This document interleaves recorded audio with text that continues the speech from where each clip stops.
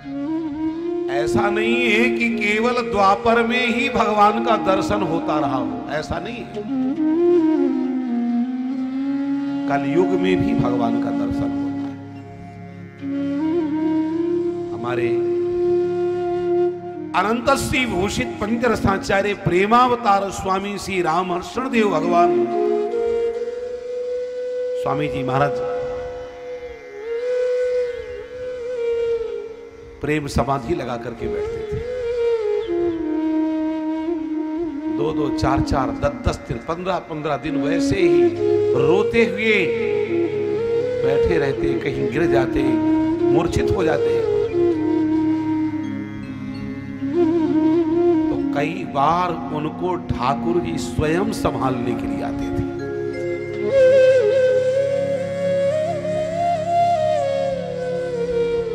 भगवान की शरण में चला भर जाए। दुनिया किसी को नहीं संभालती। अगर वास्तव में संभालता है तो केवल परमात्मा संभालता है। अच्छा ये बताओ, हम संतों को संभालने वाला कौन होता है? हम लोगों ने अपने माँ छोड़े, पिता छोड़े, भाई छोड़े मित्र छोड़े, स्वजन संबंधी छोड़ा।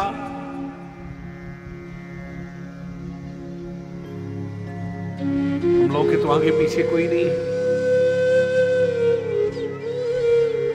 पुराने लोग एक कहावत कहा करते थे, आगे नाथ पाछे पगहा ताके नाव को रोबे गधा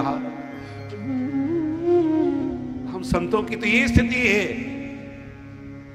किंतु अनाथों के नाथ ठाकुर जी विराजमान हैं। हम उनकी शरण में रह करके उनका भजन करते हैं तो स्वयं ही आकर के वो स्वयं संभालते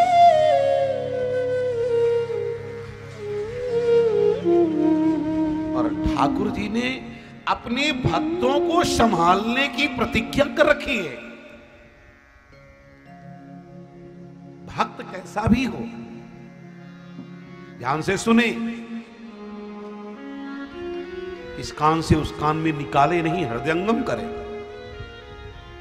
भगवान ने प्रतिज्ञा की है, सर्वधर्मान परित्यज्य।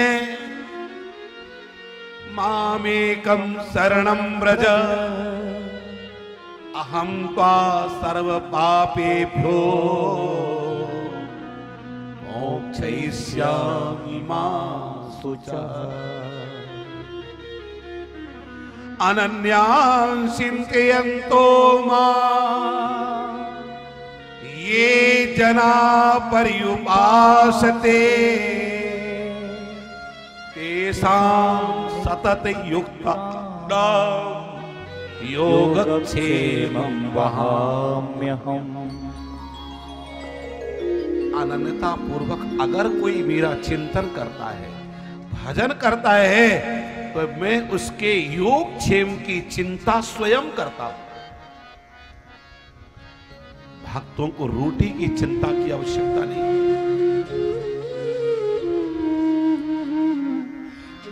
क्यों? उनके स्वामी स्वयं रोटी देने वाले बैठे हुए हैं। रोटी लूँगा, नीके राखे, आगे हूँ को वेद भाखे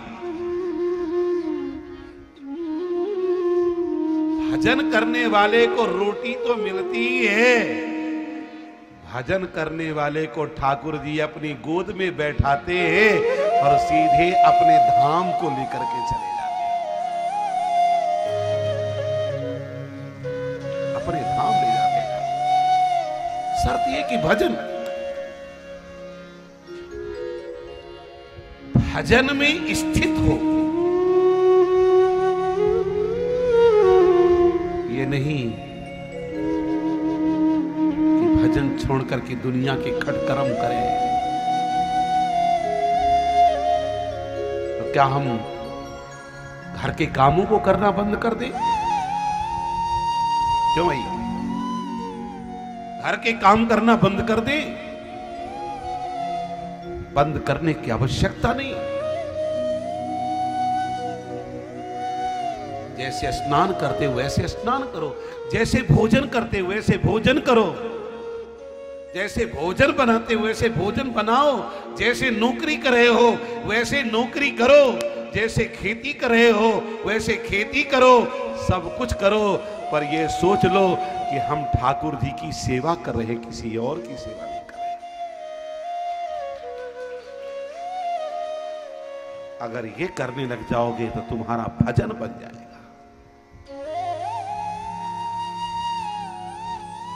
कुछ और थोड़ी है। भज सेवायाम धातु से भजन शब्द निष्पन्न हुआ है। सेवा करने अर्थ में तो हमको सेवा करना है। आप हमारे संत वाणी चैनल को सब्सक्राइब करें, वीडियो को लाइक करें, शेयर करें और हाँ बेल आइकन पर क्लिक करना बिल्कुल ना भूलें, ताकि हमारी किसी भी वीडियो की सूचना सबसे पहले आपको मिले।